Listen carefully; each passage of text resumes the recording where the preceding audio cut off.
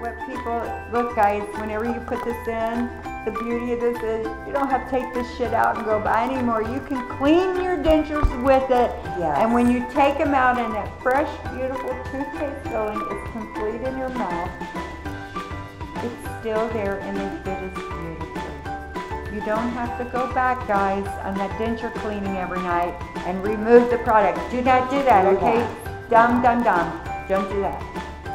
You can put it in your little box, your cleaning box, and clean your dentures. And still, when you take them out and slap them puppies back in, honey, they are as beautiful as they were the night you took them out.